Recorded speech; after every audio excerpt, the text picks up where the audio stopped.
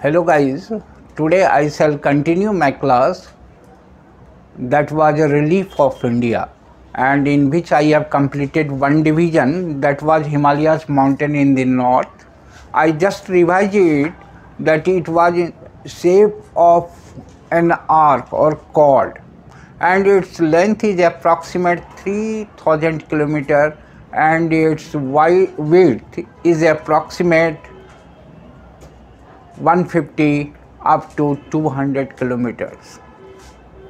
As I have discussed in my previous class that this mountain has built during tertiary period and uh, as Himalayas mountain has uplifted as the shape of the loftiest mountain in which Kanchenjunga, Mount Everest, Kanchenjunga, Nanda Betta, etc. are important peaks. The Himalayas mountain on the basis of height can be classified into three parts according to geographer and geology. That is uh, 0 to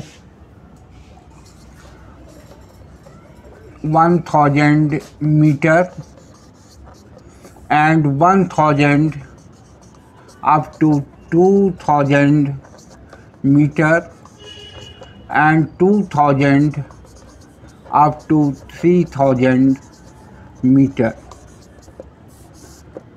This is on the basis of elevation of the Himalayas mountain. At the what happened 0 to 100 meter, uh, 0 to 1000 meter, it is a mountainous region and the scenario, physical scenario or relief features are totally different from 1000 to 2000 meter and at the topmost part that is 2000 up to 3000 meters it presents a scenario of totally mountainous region. In mountainous region as you know that what are chief features? That it is the loftiest part.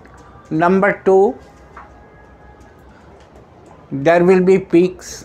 And number third its dimension in the bottom will widespread and it will shrink or maybe uh, as in form of convex and concave. It will in concave form in the topper part that is 2000 to 3000 meters.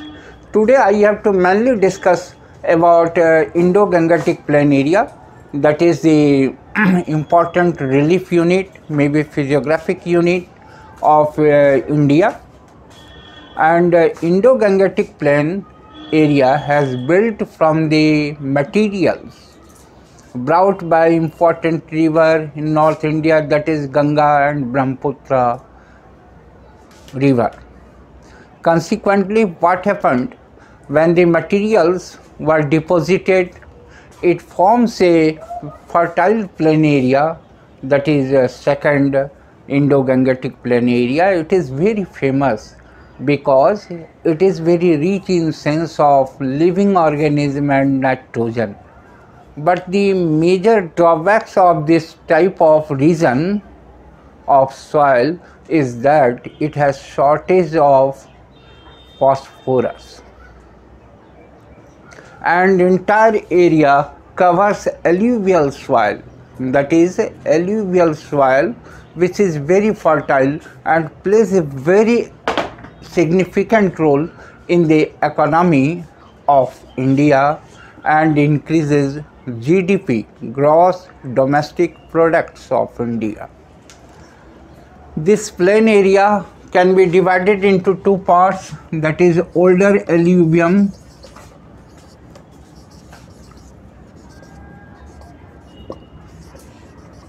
and second one is newer alluvium.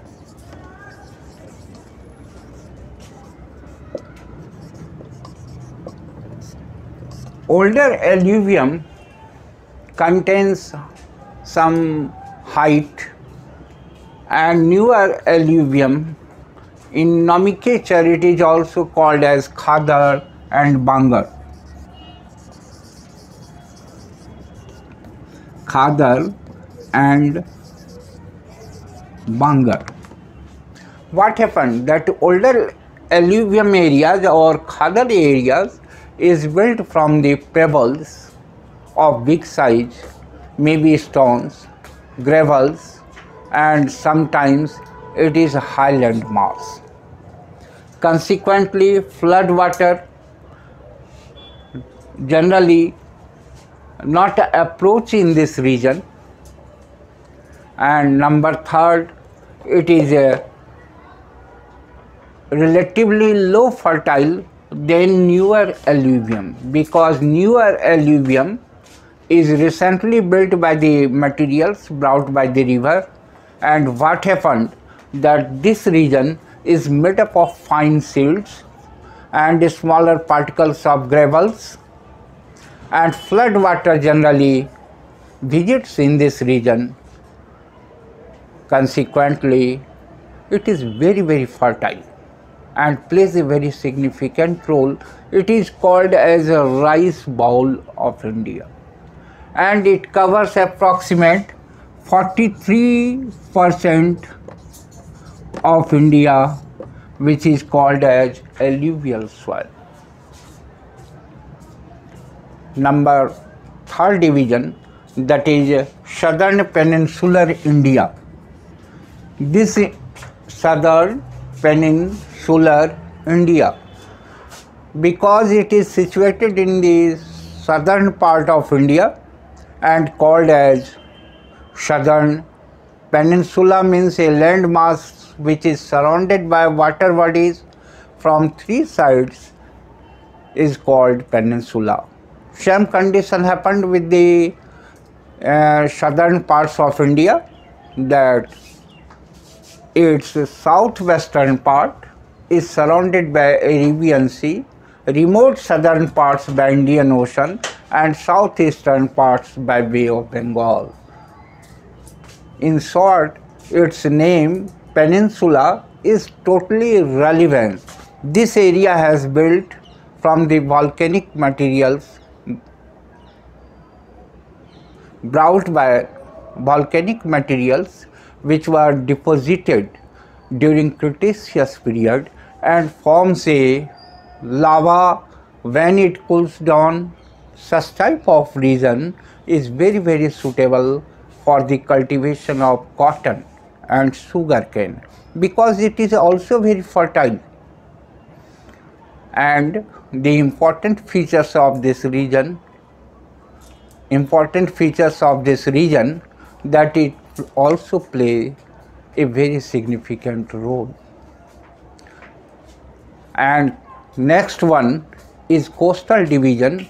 Such type of area is found nearby or adjoining region of the sea and ocean. Sea and ocean its length is approximate 6.8 nautical miles and it is very rich. The coastal line of india is very zigzag. Consequently it is it also plays a significant role for fisheries and uh, plays an important role